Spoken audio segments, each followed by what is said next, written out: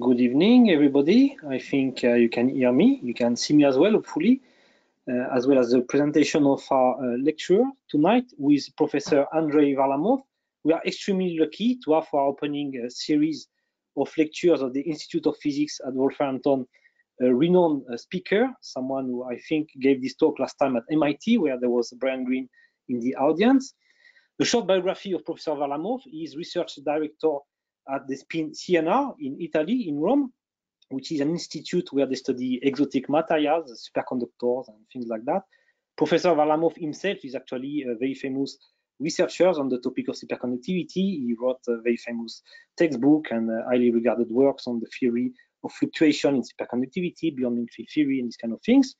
But his interest goes much beyond this uh, very specialized topic he actually uh, delights uh, the physicists and uh, everybody at large with his work on food and cooking. He wrote many textbooks, many books, several of whom won accolades on popular physics and uh, he is uh, particularly famous for having uh, written something which is related to the perfect pizza equation, or how to cook the perfect pizza. he did his PhD under the supervision of someone who is also very famous, Alexander Abrikosov with the Nobel Prize for Superconductivity, I believe 2003 Nobel Prize. And uh, while Professor Varlamov didn't get the Nobel Prize yet, he actually, I believe, was nominated for the famous Ig Nobel Prize uh, related to his work on the perfect pizza equation, of which we hope to hear about this evening. He received several um, uh, and prestigious uh, recognitions. He's Dr. honoris causa of several institutions, I think uh, as a few selection of things that really impressed me is being the, uh, the, the winner of the Olympiads in 1971, I believe, of the Physics Olympiad. He won prizes from the Lenin Komsomol Prize, the Prix Roberval for his one of his books on physics. And uh, as I said, uh, he's Dr. honoris of uh, various institutions, including the Mediterranean Institute of Physics.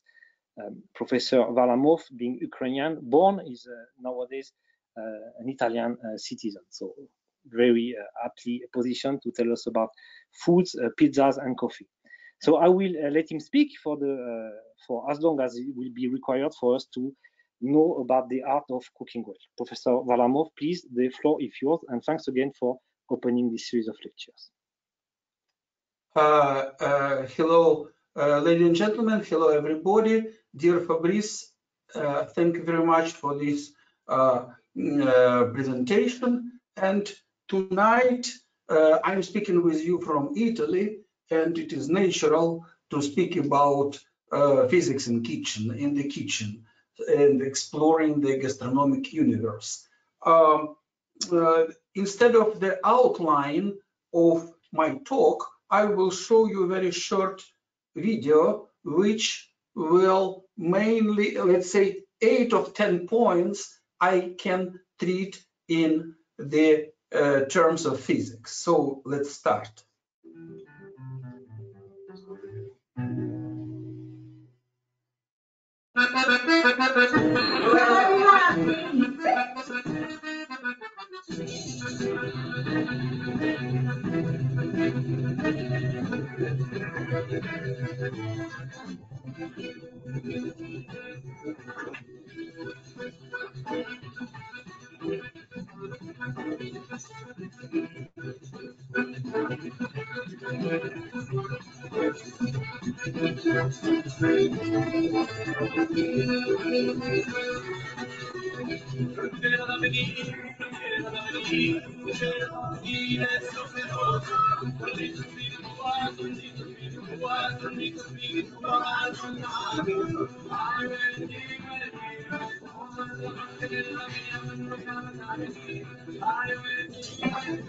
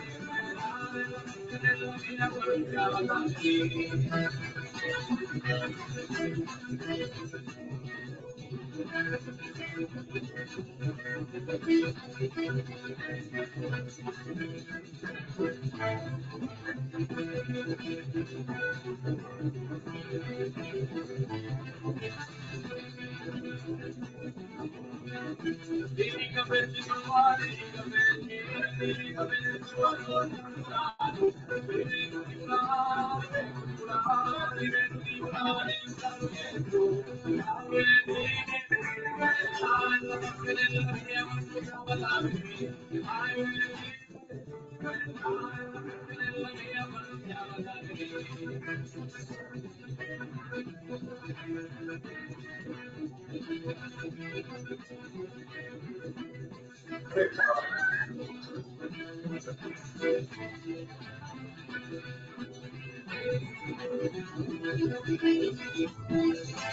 you.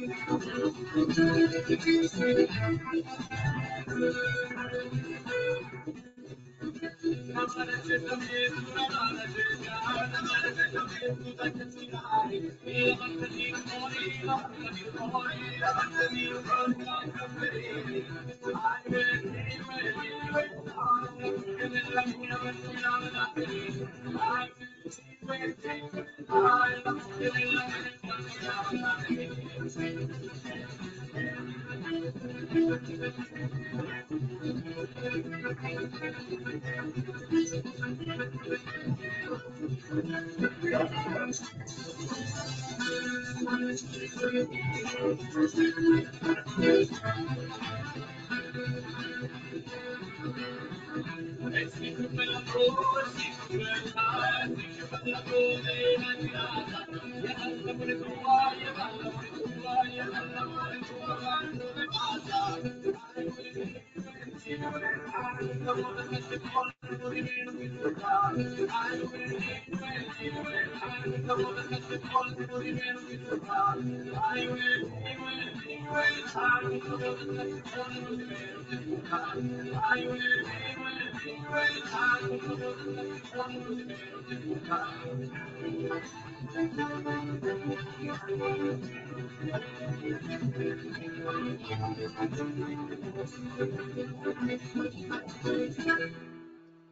Okay, so this nice video was done by the uh, Interpret and the parental. You saw the affiliations, and uh, now I will pass to uh, the discussion of the um, the uh, main formula of uh, culinary. So let's start from the discussion what means the denaturation process of proteins. So, of course, this is extremely uh, uh, complicated uh, phenomenon, and being physicist, not chemist and not um, biochemist, so I will propose some very simple model which will be enough for our purposes. So I will imagine that the raw meat consists of the folded proteins, so very long chains which are folded at the temperature of the ambient. Uh, so when our temperature increases, so the proteins unfold and at some temperature they form some, they compactify. So they, if you want, form some carpet. So uh, the transition from raw meat to boiled meat uh, is consists of uh, the uh, unfolding of proteins and then formation, their compactification and formation of this carpet. From the energetic point of view, you can see this diagram uh, where I present free energy of this system and the native state passed to the denaturated state through uh, by means of Arrhenius law when system uh, uh, due to the increase of temperature uh, mm, overpass this barrier. So, um, so what means that I will boil some piece of meat? I will imagine it as a some uh, solid sphere and uh, in order to do not find some unpleasant surprises like the blood in the center of the piece. So I have to reach the temperature of denaturation for this protein, which, for instance, for fish is 47 centigrade, for uh, yolk of the egg is 64, for beef it is 74 centigrade. So I have to um, uh, deliver the heat so uh, in such a way that in the center of my sphere the temperature will, will reach 74 centigrade. Let's say speaking about uh, the beef.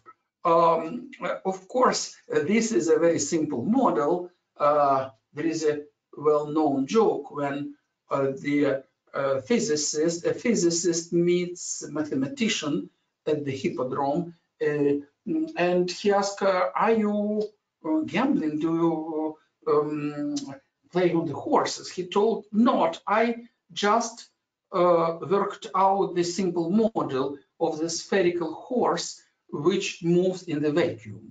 Uh, so I do more, more, or less the same. Uh, of course, this model can be solved exactly. I mean that I can write the uh, equation of heat transfer, which you see uh, at the screen uh, for the spherical symmetry, I can apply the boundary conditions that the temperature of all piece of meat uh, is let's say 4 centigrade i took it just from the fridge and then uh, external i mm, uh, mm, apply i create the heat flow um, applying the temperature mm, uh, 100 centigrade at the border. And then I will uh, study, I can find how temperature is distributed uh, uh in the uh, bulk of this sphere as a function of time. And then I can uh, require that in the central point at some moment t temperature will reach 74 let's say. Uh, this is a direct and rigorous way, but uh, I don't want to solve here the differential equation. So I will do much more simple.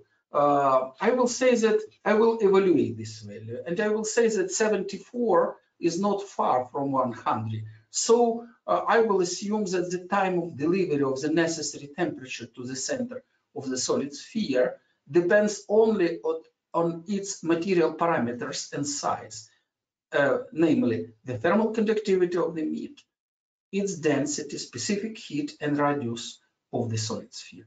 Therefore, we see the dependence of the required time on the size of the sphere in the form. I will assume that uh, uh, the um, cooking time depends on this parameter uh, in potential form. This is assumption, of course, but uh, it is confirmed by exact solution.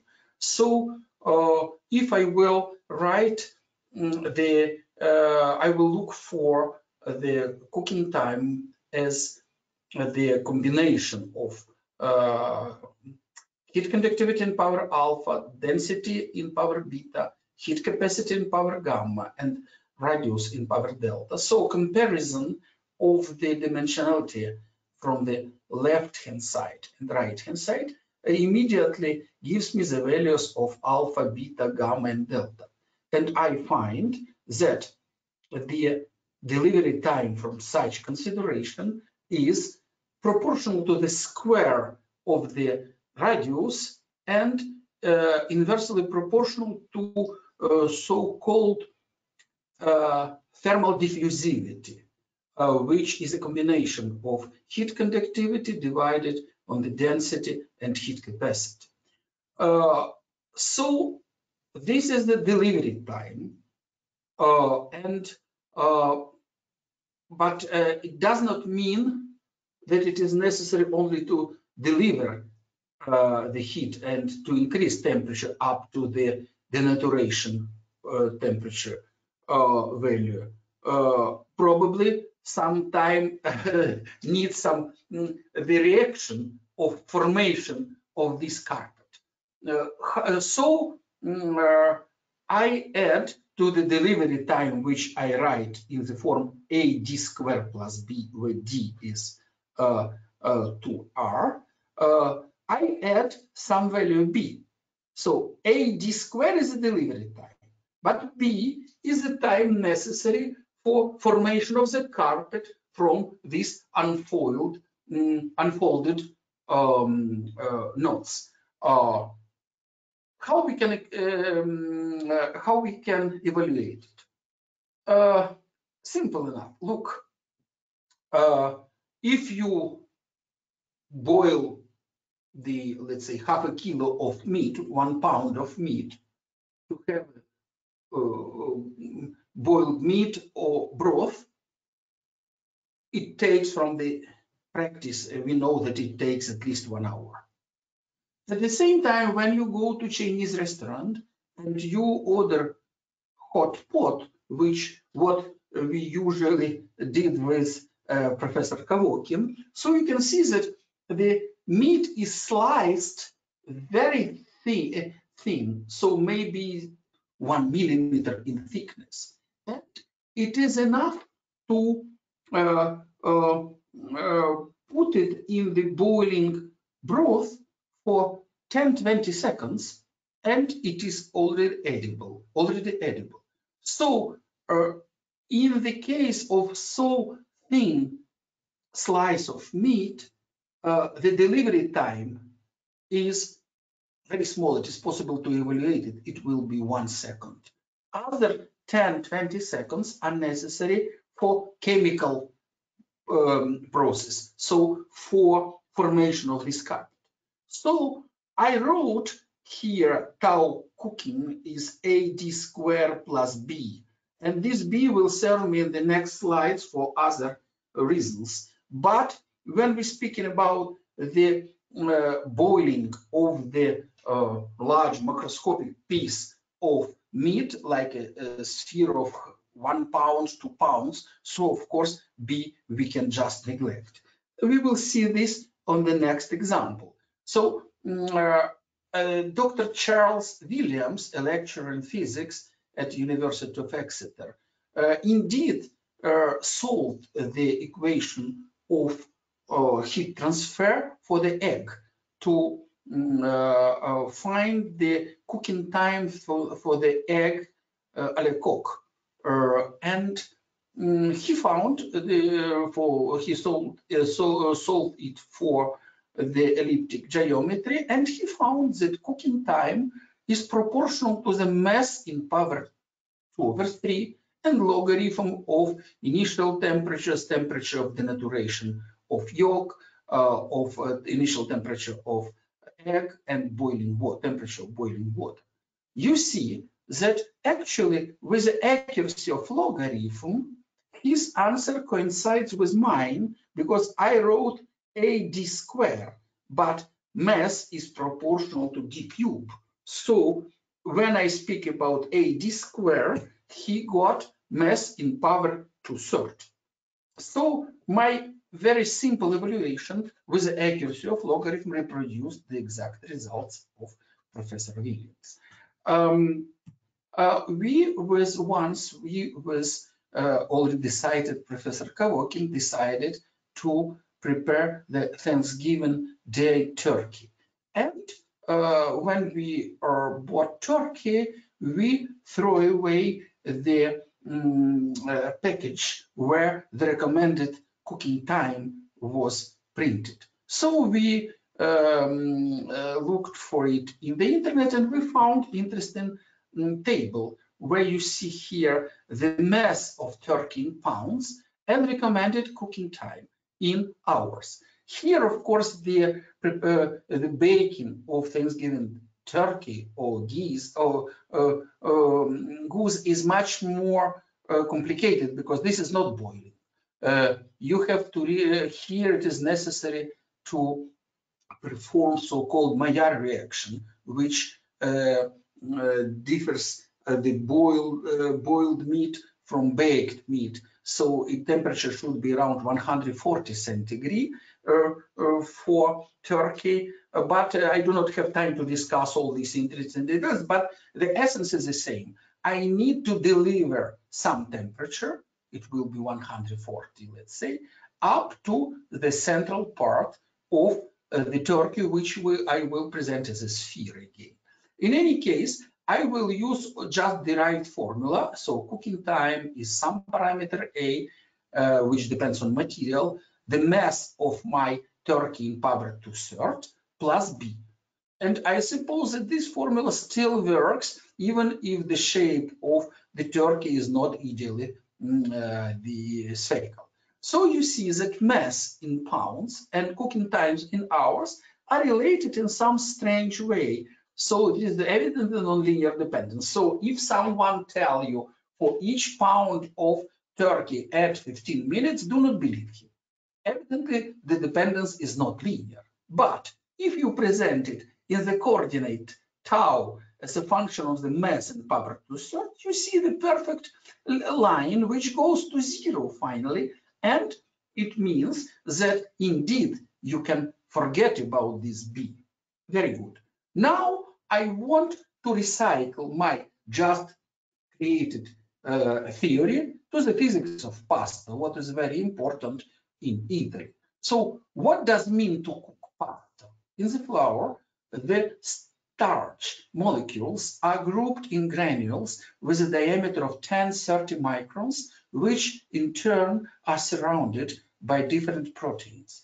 In the process of pasta production, two of them, the gliadin and glutenin, combine with water and form a continuous network called gluten, which is strong and has low permeability for water molecules.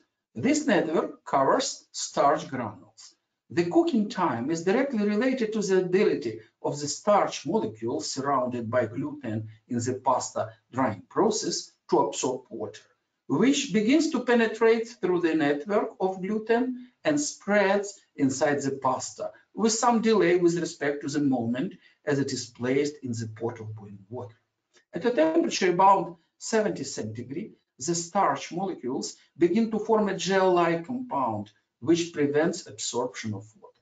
Pasta is considered al dente when gelatinous starch absorbs the minimal quantity of water needed to make it sufficiently soft.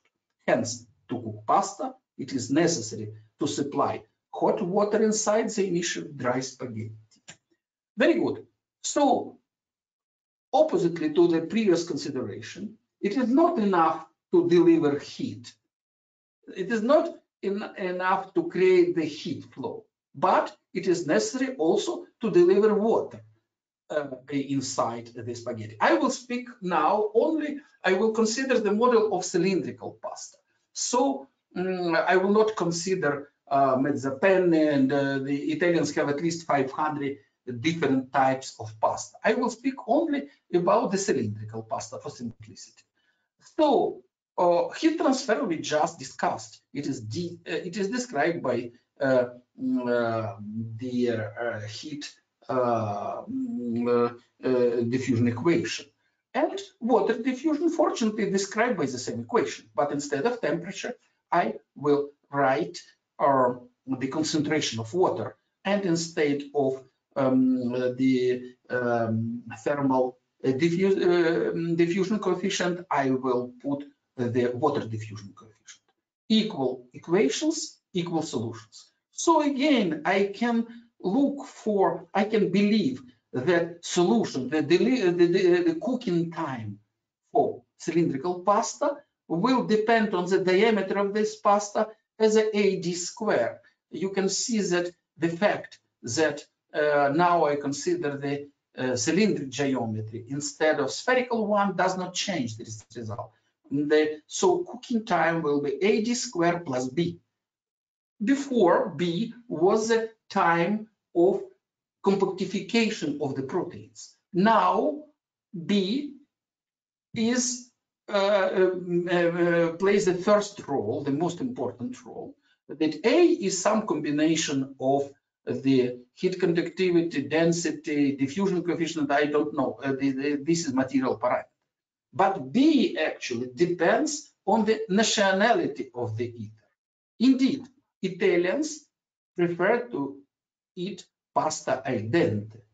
So uh, in my model, this means that I have to supply water and heat not to the very axis, the very central part of the cylinder. So this will be the simple model uh, which will um, take into account what means spaghetti al dente. If some other um, uh, uh, the people consider pasta not as the main dish which serves sauces like do Italians, but they consider uh, pasta as a side dish. So often uh, they want to have a well done, well cooked pasta. So this B can be or zero or even uh, to uh, transform it in porridge, uh, B should be positive.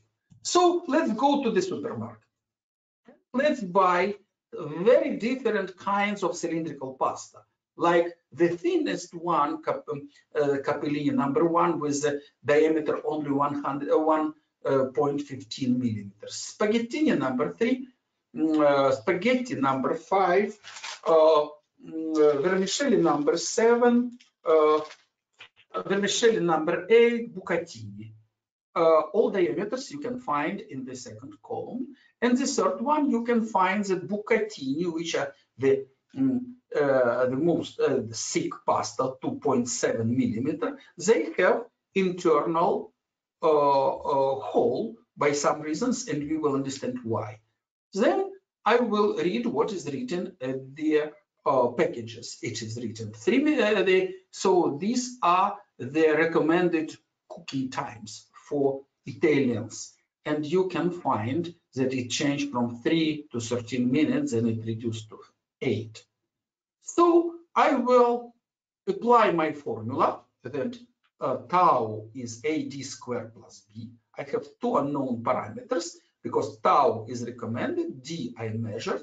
So I defined A and B from the two experimental points. So I believe that spaghettini, five minutes, um, and vermicelli number eight, 13 minutes are reference points. What allows me to reproduce the, uh, to find that A and B has the 3.8 minutes per millimeter square and B is minus three minutes. Uh, uh, please pay attention that this is very relative because I bought pasta of some uh, uh, producer um, of some uh, um, kind of the Italian producer of pasta. So this parameter can change from one to another producer. So let's try to use my formula. Now I know A and B. Let's try to use my formula to uh, reproduce other results. You see that for capellini it works bad. Instead of three minutes, I have two. For spaghettini number three, no sense to speak because it is reference point. But for spaghetti number five, it reproduced very well, 8.2 instead of mm, eight minutes. Uh, for vermicelli number seven, 10.7 instead of 11.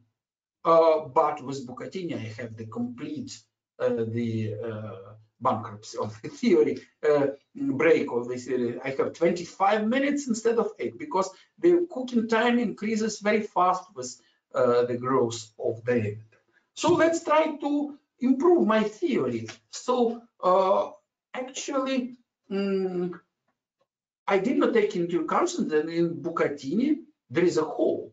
So if Italians do this hole, it has some sense. What sense can have this hole? I see two solutions. First, that the hot water enters in this hole, and I do not need more to deliver, to supply heat and water to the central part. This is number one. Number two, one could suppose, assume that instead of one heat flow from the uh, outside of the um, uh, Bucatino, I have another heat flow from the central part, but this will be wrong because actually to deliver heat, I need the heat flow, not just temperature. Yes, water will enter in it, but the length of Bucatino is 23 centimeters and diameter of the hole is only one millimeter. So I cannot, by mm, uh, um, supporting fire, uh, making boiling water in the uh, mm, saucepan, I cannot mm, deliver the second flow. So I will just improve my formula, extracting from the inter external diameter internal one, and with the same parameters, and you see that it is more than enough. I reproduce the correct cooking time 8.2 instead of uh, 8 uh, um, advised, recommended, and 25 the theory without this correction. Now let's return to Capellini. With Capellini also is not all good because instead of three, I got two minutes. It is uh, too uh, short time. But I want to attract your attention on the simplicity uh, uh, of my uh, model because I told you that to take into account that um, pasta should be prepared al dente, I suppose that some central part uh, close to the axis should not be cooked at all because water do not arrive there and heat does not arrive. So uh, um, if you take a look at the if you take a look at the uh, equation AD square plus B, you see that exists some value D critical when this solution, because B is negative, so exists some critical diameter where this solution uh, equation is satisfied. So, absurd ad absurdum, uh, tending to the absurdity, I can say that in my model exists some virtual pasta of the diameter 0.85 millimeter, which is not necessary to cook it all. You can eat it without boiling, without cooking. So you see that 0.85 is not too far from 115.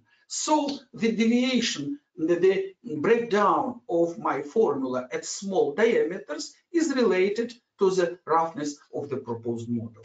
Okay, now I want to tell you about one famous Ig Nobel Prize. So the French physicist Audoly and Neukirch published in PRL in August of 2005, they published very nice study of the breaking of spaghetto. By spaghetto, I will call one cylinder, one mm, uh, piece of pasta of cylindrical pasta. So uh, they considered the rod, the dynamics of a rod fragment following the initial breaking, even in a, so they, uh, I will show, uh, probably it is difficult to show. Okay, I will do the following. Look, please, here uh, you can, you see what happens. So you take one spaghetto and uh, uh, make an arc, as you see here. And mm, what happens? uh, usually it breaks for three or four pieces. And this is counterintuitive because it seems that it should be break for two pieces. How to explain them? And mm, the uh, authors of this article, uh, they uh, approached very seriously. First of all, they did the fast recording. You see results of it. And uh, then they proposed the model. Uh, they uh, wrote the Kirchhoff equations, the differential equations of force order, resolved it, uh, uh, did numerical simulation, but I will explain you very simple what happens. When you make the arc, so at some critical value, the spaghetto will be broken. It will be broken, uh, it, it is homogeneous, but always there is a some uh, weak point. And let's suppose that it will happen in some uh, weak point, not in the center for the very beginning, at some point. So what happens?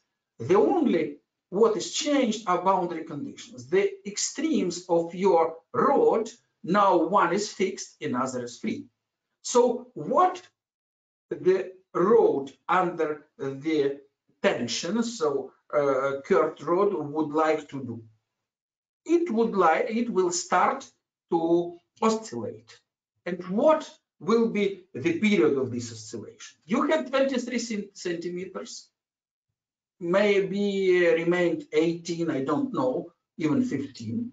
So you understand that the uh, oscillations will have the period of uh, 100 milliseconds, something like this. At the same time, the break of spaghetti generates the flexure wave in it. And uh, this is a sound wave. And the characteristic velocities, speeds of uh, the sound waves in solids are kilometers per hour. So you understand that propagation of this uh, propagation of this flexure wave and distribution uh, the authors calculated you see the distribution of nodes in it so you see that in this point uh, the, the first maximum the curvature will be 40 percent more than it was just before breaking so uh, because this happens in milliseconds and relaxation of the road due to oscillations are hundreds of milliseconds. So practically this flexure uh, um, uh, tension, so the increase of curvature is uh, added to the initial one. In result, at the point uh, K0, you will have the second break. You already will have three pieces. If the first break happened close to the center, so you can have four pieces. Uh, and it is very beautiful. Uh, if I would not like, uh, uh, I could show you because I have here pasta. Uh, I can show you this, but um, I do not want to have time. So please take a look at the these registrations. yet, um, in 2018, two students of Massachusetts Institute of Technology had succeeded to break spaghetti in, into two pieces. So very recently, Ronald, Ronald Heisser and Vishal Patil, two students from the Massachusetts Institute of Technology, working on a scientific project proposed by their tutor, Jörn uh, Dunkel, managed to overcome the magical reluctance of spaghetti to split into two parts. For this, as it turned out, it is just enough to turn the spaghetti, let's say at 300 degrees along its axis. They created this um, device. And so first you uh, turn it for 360 degrees. In this case, after the first break, only the part of energy of this break released uh, uh, energy released in this break is used for the excitation of the flexural wave.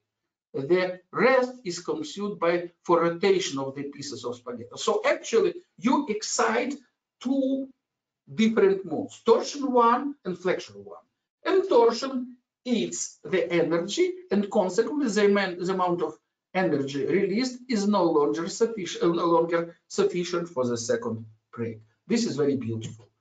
Uh, um, Italians uh, are very careful in combining of the shape of pasta and uh, the viscosity of sauce. Of course, they do not write equations, but for um, curiosity, I just uh, uh, uh, proposed a model of, so I took a cylinder and poured in it some viscous liquid and looked how under the gravity, uh, the flow of this liquid will enter in the cylinder. And after very simple consideration, I found, then I told that gravity and acceleration is the same, uh, internal part and external more or less the same. And they found that uh, uh, the criterion is that you should uh, be careful to do not mix too much, uh, too long, because pasta and sauce must be hot. So you have some finite time to mix and it is proportional to eta divided d square. So increasing uh, viscosity four times, you need to choose pasta uh, twice uh, larger in size. um, in Italy, usually in uh, uh, high level um, pasta are um, um, prepared uh, trafilati con bronzo. So they um, prepared uh, in a special way to make uh, their um, surface rough to, to, to stop to uh, do, uh, do not permit to souls to fall down. Okay, so now let's pass to the next interesting uh, phenomena, namely physics of pizza. usually I go to the same pizza in Ro uh, pizzeria in Rome, and uh, very soon I mm, made a friendship with pizzaiolo, and he told me, Andrey, do not come to eat pizza between 8 and 10 p.m. I asked her, or before or after. I asked him why. He told me because uh, the Roman pizza, so thin uh, pizza uh, of 0.5 centimeter more or less with some sauces, which is very different from the Napolitan pizza, which is uh, thick and with uh, high borders. Uh, so usually uh, the, if my dough is of 24 hours of fermentation, so the optimal temperature is 325, 330 centigrade, and I can uh, bake one pizza in two minutes. I can manage two pizzas simultaneously in the oven. So we speak about the um, wood oven, what is the best. And uh, so I can produce 50, 60 pizza per hour. And uh, in the rush time uh, when I have uh, 60, 70 mm, clients and another 20 are waiting to take away pizza. So I'm forced to increase uh, temperature to 390. In this case, I can bake one pizza in 70 seconds and I increase my productivity. But the dough can be a little bit burned. And it was the secret. So I uh, um, decided uh, that maybe I can reproduce these uh, numbers. And by the way, to uh, shed a light on the uh, why Italians prefer to go to eat pizza in uh, pizzerias with wood oven. So let's start from the farm. These two elephants are in good health. They have both temperature 36.1 Celsius and the distribution of temperature is constant.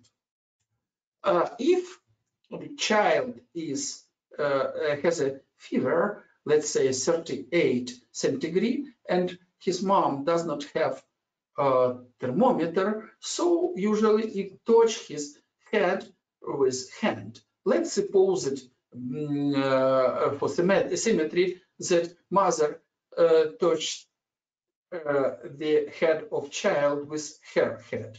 So both of them of the same materials. So the distribution of temperature uh, um, as a position from the interface, you see at this figure. And evidently that at the interface temperature will be the average 37.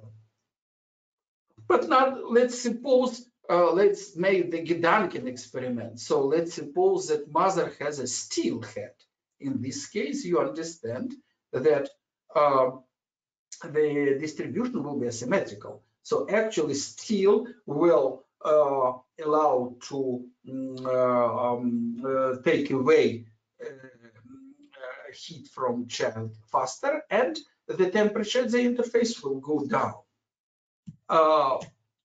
so I want to understand that. So the, my question is, if I have two medias with different parameters, heat conductivity, heat capacity, density, and one um, uh, semi-space uh, at the minus infinity has temperature T1, another T2. So what will be the temperature interface? Uh, for this, I will just write the um, heat flow, uh, which I will define as a quantity of heat which passed through the area S in time delta T. and this is a heat flow. And as we know, it is related uh, with a gradient of temperature and by means of the uh, thermal conductivity. Uh, so uh, instead of again solving of the differential equations, I will make some simple evaluation. Let's suppose that the, I want to know how the front of temperature uh, penetrates in the uh, this semi-space. So I will consider the heat flow, so delta Q, which pass from the uh, okay, actually from the right to the left, but uh, here I did vice versa. So delta Q uh, divided S and T will be uh, the heat flow. And I will believe that this delta Q is just heat capacity uh, um, uh, multiplied on the density or the volume of the cylinder. Volume of the cylinder will be cross section S, which I did not write here, multiplied on the length L of T, and all this uh, uh, whole heat capacity. Uh, uh, uh, no, this is specific heat capacity. This is a full heat capacity. multiply delta T will be delta Q. In denominator, I will put S, which is cancelled with this one, and temperature. And I will write that this is in accordance to the Fourier law. This is a kappa, so heat conductivity, delta T divided delta X, which I will replace by length. So I will suppose that this length is small one. So instead of differentials, I put finite values. From this evaluation, I will immediately find that heat penetration length, L, is square root of heat time, where he is a coefficient of temperature conductivity or temperature uh, thermal diffusivity uh, coefficient. And uh, if I were not so lazy and would solve uh, exact differential equation, the answer would be the same, but the coefficient pi would appear here. Very good. So now I will uh, return to our pizzeria and I uh, will consider the bottom of my uh, oven where I put the this disk of uh, disk of dough, future pizza, and I will see that uh, uh, I will compare two flows and I will find the temperature at the interface is T1 plus nu T2 divided 1 plus nu. Nu is a parameter which characterizes the couple of materials. You can see here the dough, food grade steel, fire brick. So food grade steel, this for electric oven, fire brick steel for wood oven. And here I give you the values of heat capacity, thermal conductivity, mass density, and temperature conductivity coefficient. What is important? That for the couple, when you put the disk of dough at the bottom of, of the fire brick, the coefficient nu will be 0.65. For food grade steel, it will be 0.1. So let's see. I believe to my friend Pizzaiolo, uh, Antonio, and the temperature in the oven, initial temperature is 330. Temperature of dough is temperature of ambient is to a room temperature 20. So I see that if in the oven the temperature is 330, so the temperature at the interface will be 208. So let's suppose that I do not have possibility, I do not have chimney. So how to uh, bake pizza in electric oven? Very simple model again. Of course, there are very sophisticated uh, electric ovens where you can do this very good. But if I just will replace new from 0.65, so I will put on the just the uh, steel bottom, the temperature will be 300 at the interface when if I uh, establish 330 in the oven. So I will just burn this. The question, what temperature I have to establish in my electric oven to have the same 208 at the interface Ask, uh, the uh, uh, answer is 230. So 100 centigrade less than in the uh, wood oven. Uh, okay, so let's uh, um, what I, what does it mean? Okay, I will establish 230 even better, but remember that at least uh, at 330, uh, at least half even uh, of energy comes from radiation. so I need high temperature. So the thermal radiation, the, the intensity of thermal radiation is proportional to the force power of absolute temperature. So 330 and 230, it is 604 against 504 Kelvin. So 6 over 5 in power 4, it means 1.2 in power 4. It means 144 square. It means 2. So I will lose half of the energy which arrives um, due to radiation. So the baking time will increase. And indeed, we did all calculations and have succeeded to reproduce. Uh, um, we have reproduced. So I did here the balance of energy which pizza obtains from below uh, due to thermal conductance, uh, then uh, thermal radiation from uh, the uh, walls of um, um, the oven, and I took into account even the fact that pizza is a black body itself and irradiate with the temperature of boiling water, so with 100 centigrade. In result, we have, due to uh, this uh, simple but a little bit cumbersome calculations, we have succeeded to reproduce that cooking time at the temperature 330 in wood oven is 115 seconds. For electric oven with 230, 240 seconds. And if I increase temperature up to 390, so in this case, I will uh, reduce the uh, baking time to 70 seconds. Very good. I still have Mm, uh, mm, probably I will change because about uh, physics of good coffee, I can tell you, uh, maybe I will show you. So in Italy, there are two main uh, ways of um, brewing coffee. One is the, uh, I want to show you this beautiful uh, video done in the Grenoble in the um, slow neutrons. Please see what happens in Moka. So water is black, it is not transparent for neutrons and metal is transparent. So you can see what happens in the Moka coffee maker. Uh, and you see how uh, the water uh, boils in, uh, in uh, the hermetic, not hermetic. In hermetic, water cannot boil uh, because always it is in the equilibrium with uh, vapor. Uh, but here there is a possibility to escape for water, and this escape, due to the elasticity of vapor, results in the filtration of um, uh, water passes through the coffee powder, and in result, you collect uh, in the upper part of this coffee maker, you collect the uh, uh, morning coffee for many Italian families, traditional one.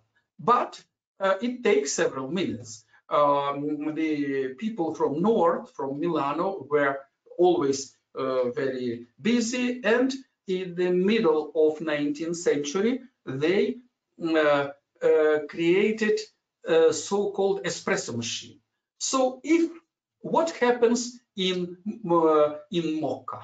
In Moka, uh, the uh, okay uh, the driving force of uh, the process is the elasticity of elasticity of vapor, which is due to the fire which mm, uh, uh, which heats the coffee maker. So actually, you are always at the um, the border, the confine between the liquid and vapor.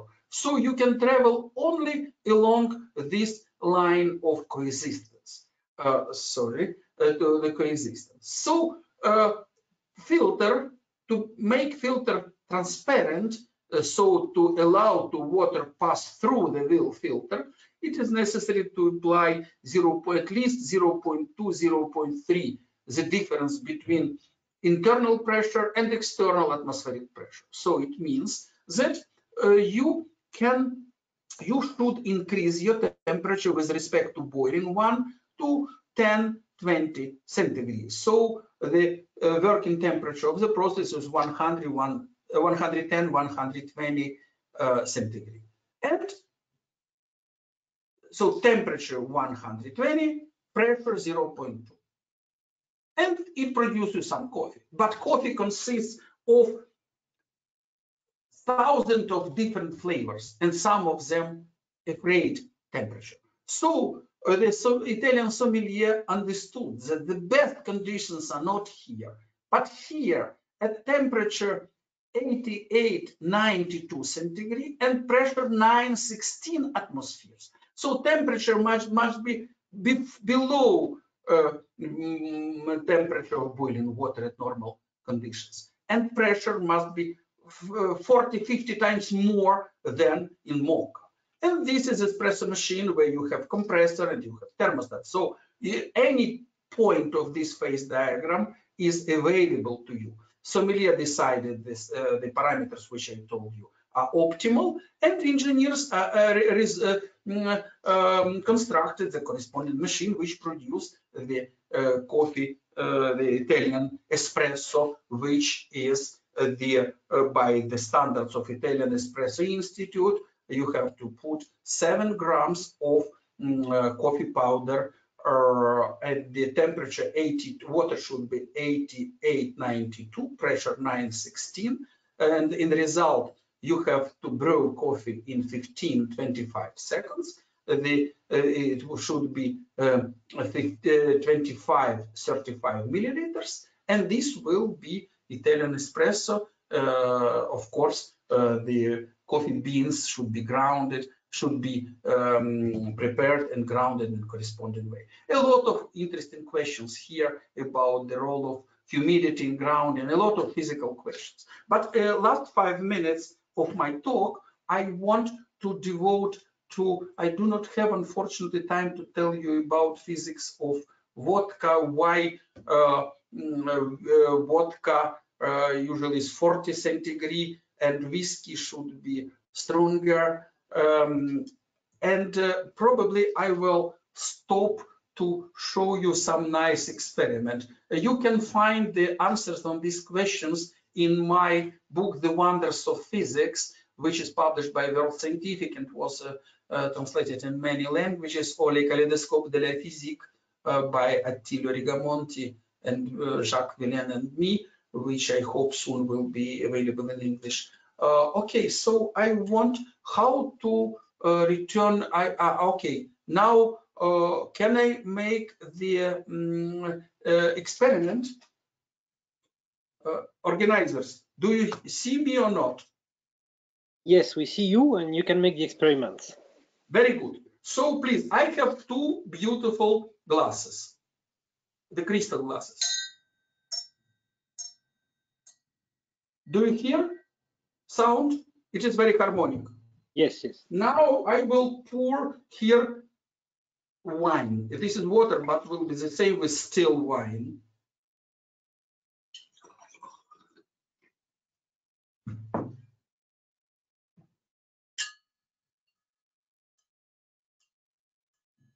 Do you hear still harmonic, beautiful sound? Less clearly so, but yes. Sorry? Yes, yes, we, we do here. Yes, that's fine.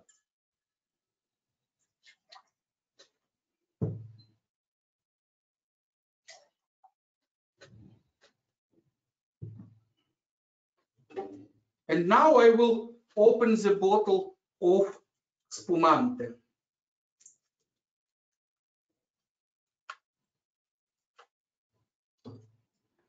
I will open the bottle of spumante. So if I were in France, I would open champagne. But from the point, physical point of view, this will be the same.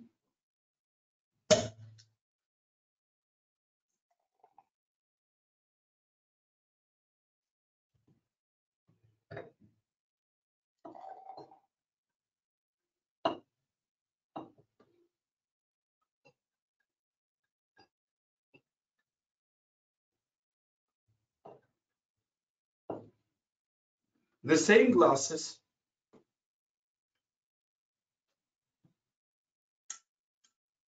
Do you hear sound? Yes. What happened?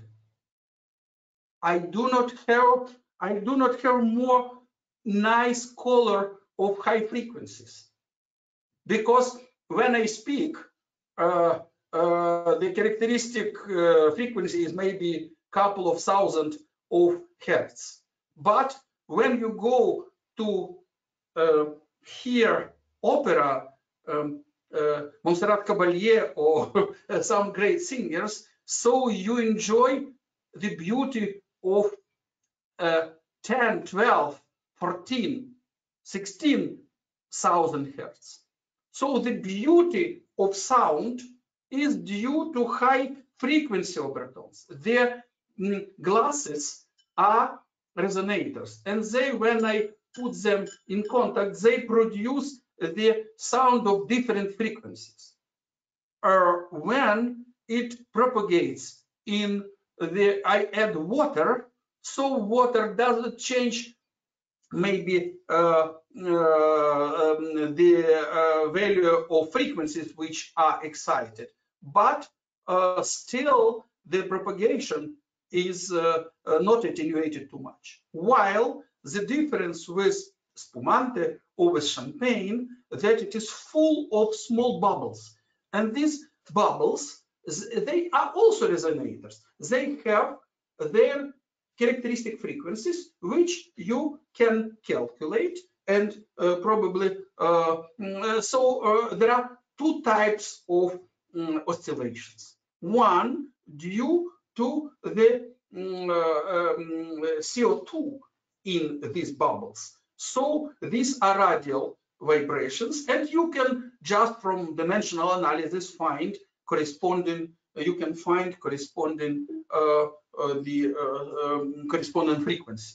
Or you can uh, mm, find, so this frequency will be, you can, our partic participants can check that one frequency is pressure in power one uh, one half and divided density in one half and characteristic radius of the um, bubble. Uh, Another frequency is related to uh, the uh, uh, surface tension.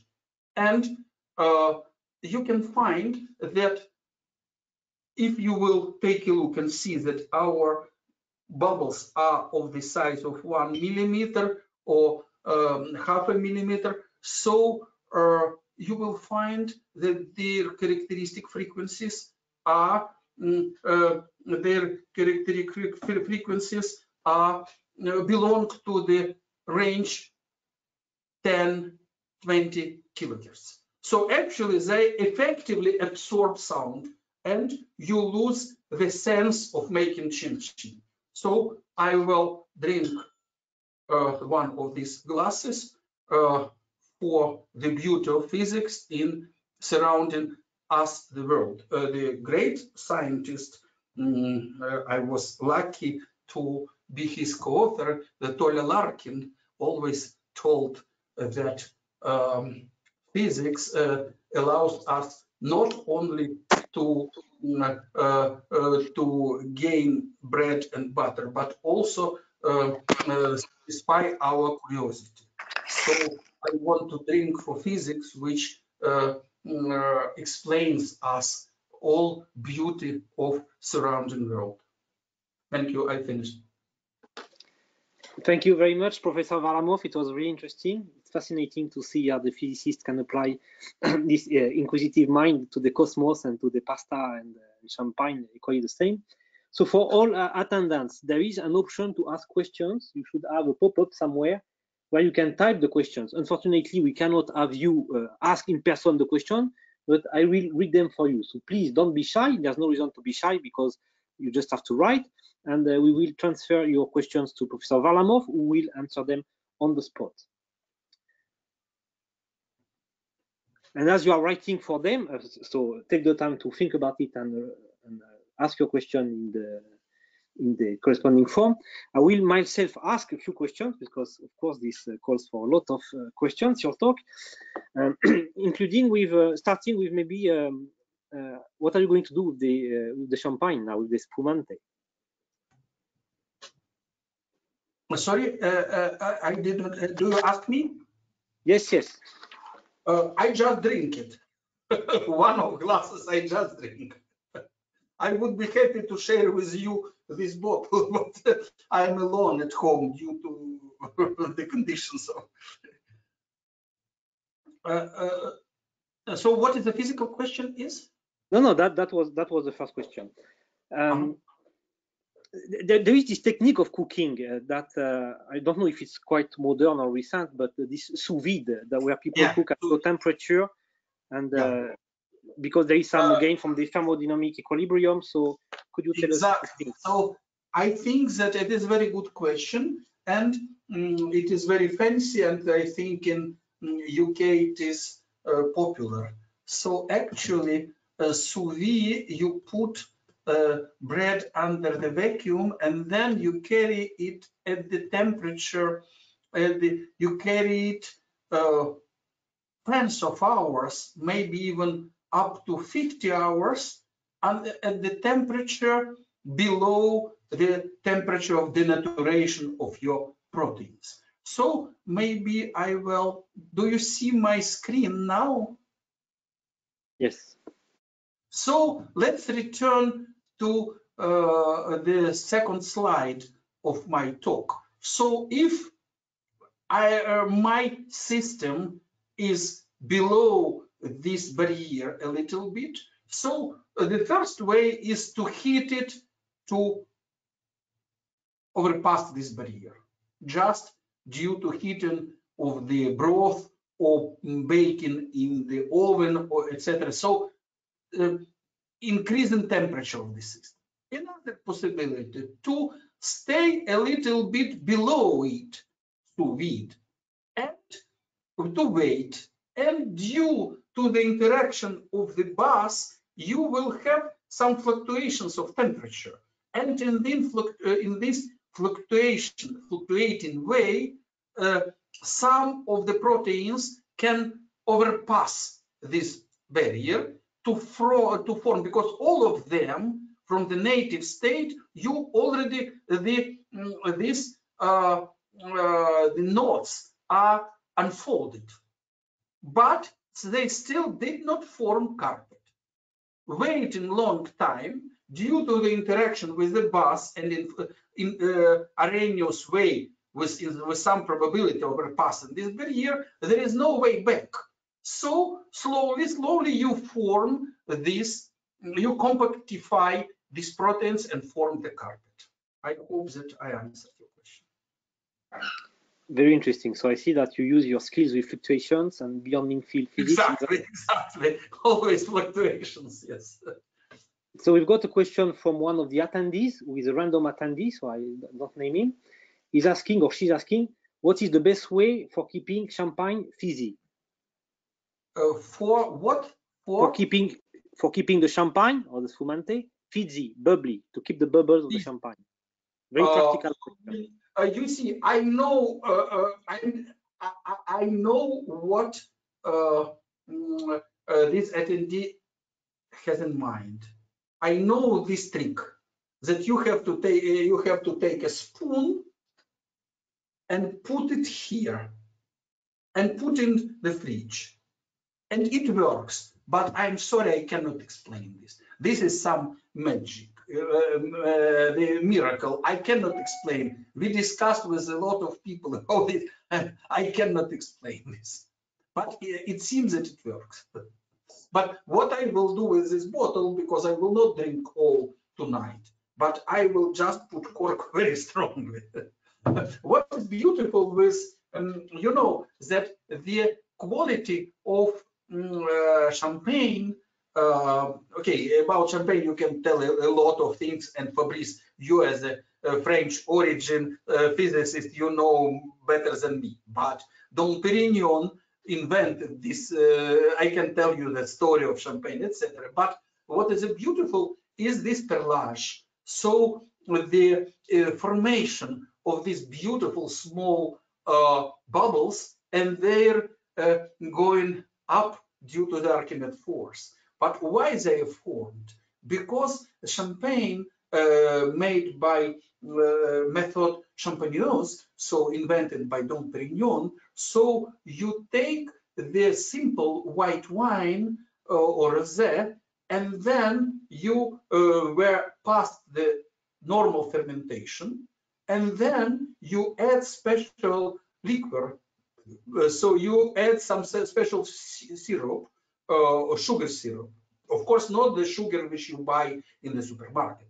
This sugar should be for good champagne, should be um, produced from the same grapes where uh, what uh, you use uh, for do first fermentation for your wine.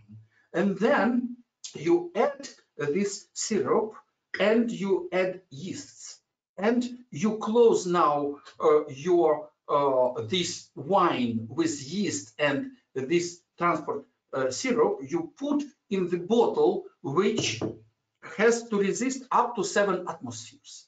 Because Dom Perignon was involved in this story because in the uh, um, uh, uh, uh, the, due to some the cold winters, uh, some, it was some period, uh, so the bottle started to uh, um, to explode, explode, and he found this way. So, and finally, the second ferment, fermentation happens in the bottle. And because the bottle is closed, so high pressure can develop in it. So the result of activity of these bacteria, of yeast, that they produce CO2. They produce not only alcohol, but they produce only also gas, CO2.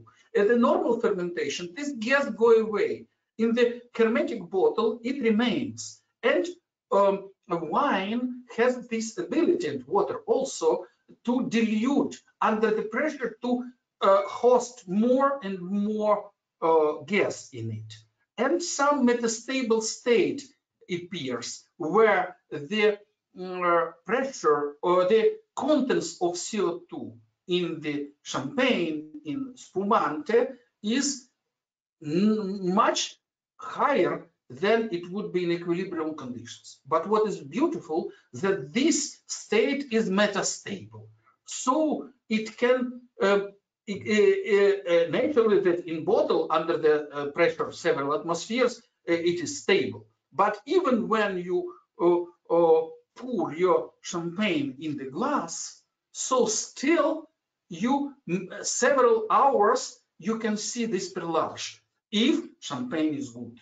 With the um, just sparkling water will you not or if you will buy with uh, two euros uh, three euros per bottle it will be just full of co2 but without this uh, uh, serious process so uh, uh, this is very beautiful physics in this and good result very interesting thanks again maybe one last question no we got a question there why is the steam getting out when you open the champagne bottle? Sorry? So the question is, this is from uh, Kasia Sopinska, she's asking, why is the steam getting out when you open the champagne bottle? Not steam, uh, this CO2. Ah, steam, I understand what he, okay, yeah, yeah, yeah, I understand this. Uh, so uh, I would say my hypothesis is that when you open the bottle, what happens? You have a diabatic, a diabatic process. I mean that excess gas exits from your bottle very fast, diabatically. And this means that the temperature decreases here because volume increases, temperature decreases. And from surrounding uh, um, uh, air, you have condensation of uh, water uh, uh, vapor which exists, but um, because locally temperature strongly decreases, so you see this, it seems that it is a steam. So I think that this is related with adiabatic expansion of the gas which is contained in the upper part of the bottle. Okay. This is and my hypothesis. Uh, I can uh, tell to people who lived in cold countries. So imagine that you stay at the hot kitchen where uh, the uh, humidity is 100 centigrade. So uh, someone boil meat or something, and uh, it is hot, 20 centigrade, and out it is minus 20. Uh, I tell you about Russia.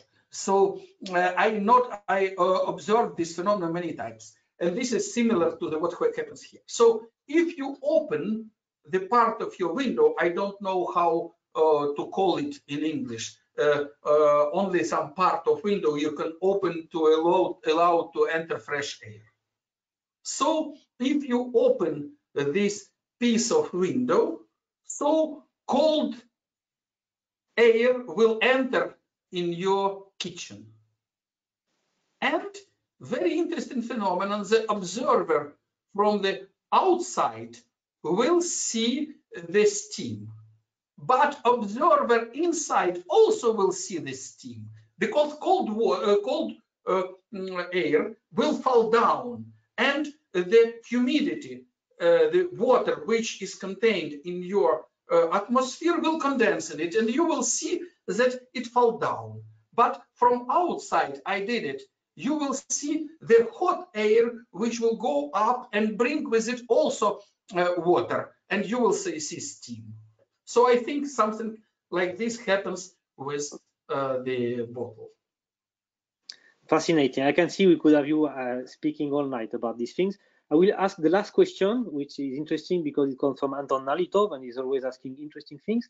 The only thing that is that the question is too long to fit in the form, so I hope I will not distort it very much. He says, I'm reading, a question regarding the interpretation of the Spaghetto experiment of 2018. You mentioned that in the case of applied torsion, the released energy is spread among different sound modes. So the regular transverse sound part is smaller than in the case with no torsion. However, the released energy itself should be higher, as the torsion energy also contributes to it. So it's not evident that the transverse mode amplitude decreases with torsion.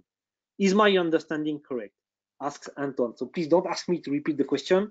I hope from what you could catch. Uh, No, if I understand well, uh, so I would say that energy uh, uh, of for all our pleasures, so for all modes, is produced by the break. So it is elastic and uh, the energy of the break of this spaghetto. And then we have two different modes. Uh, one is rotational one, another flexure. So uh, uh, so the fact that it breaks in two, I everyone can check. I can show you. Now I can show you. So please, here I have three pieces. Did you see third one? Probably not, but I do not cheat you. I will uh, wait. Is mm, uh, uh, We yeah. trust you. We trust you. Yes, you see three pieces. Now I will try to repeat the experiment of these youngsters from MIT. So I take ah, two, two. Look, I do not cheat you. Two. Look. Ah, two pieces. So I did not cheat you. The treatment of this is beautiful. I'm happy that I have succeeded to show you experiment and lady who uh, will clean my uh, studio will not look for, me. I will, did not give her more uh, work.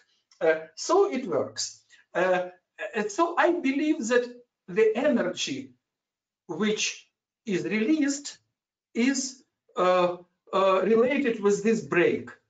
And but in the case of simple breaking, uh, all it goes to the uh, flexure uh, um, mode.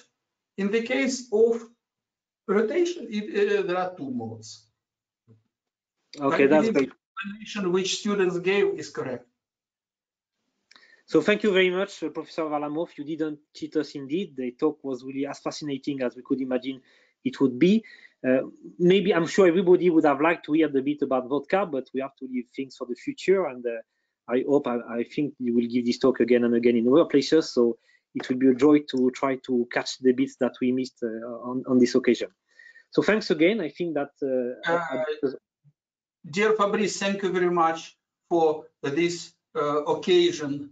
To unfortunately, I do not see this is um, the, the advantage of online teaching and seminars but for me it is a pleasure to see you. Thank you very much for possible to you to paul to david for um, uh, giving me possibility to deliver this talk. And i hope that uh, it will at least um, generate some questions of our uh, attendees. Uh, and uh, i strongly recommend the method of dimensional analysis to answer on many questions.